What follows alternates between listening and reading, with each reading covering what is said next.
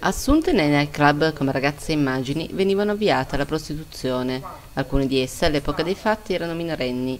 L'indagine, denominata Operazione Tacco 12 della squadra mobile della Questura di Torino, era iniziata nel marzo 2017 e ha portato alla reclusione in carcere di tre persone e una quarta agli arresti domiciliari.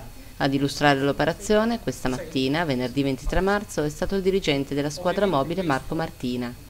E tra le molteplici attività che sono state scoperte nel corso delle indagini, ovviamente sono state individuate delle condotte che eh, facevano rispondere questi soggetti del reato di sfruttamento alla prostituzione e sfruttamento alla prostituzione minorile queste condotte ovviamente sono state valutate dall'autorità giudiziaria e sono stati emessi dei provvedimenti restrittivi.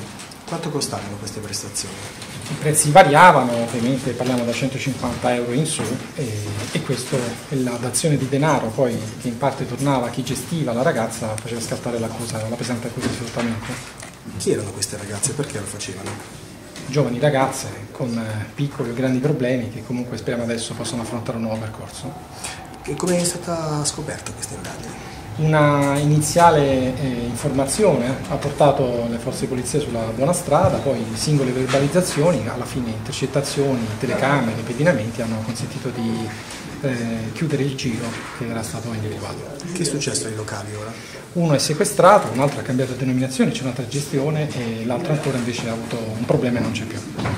Ma è stato uno dei clienti che ha denunciato? Le informazioni da... iniziali ovviamente possono giungere da clienti, dal web, da fonti aperte, da una serie di attività che possono essere condotte alle forze di polizia. Poi bisogna trasformare queste informazioni iniziali in fonti di prova ed è per questo che ci sono le intercettazioni e le attività condotte dalle forze dell'ordine. Si parla anche di una madre, l'ho letto nell'appunto stampa. Ovviamente poi mano a mano venivano individuate, per le, soprattutto per la parte delle minori, anche soggetti che potessero fornire informazioni più dettagliate. Per questo ci siamo mossi. Quanti sono i minori? coinvolti? Tre. Da quanto che seguite l'indagine? Quasi un anno. Ma c'è una mamma che ha segnalato ai servizi sociali mio figlio fa queste cose, aiutatemi a bloccarla? Ci sono una serie di attività che sono state condotte e ovviamente su questo aspetto di come nasce non, non, non manteniamo un piccolo riservo. Grazie. Intercettazione. Il capo chi era ieri? Il gestore? Capo. Porque assim, não,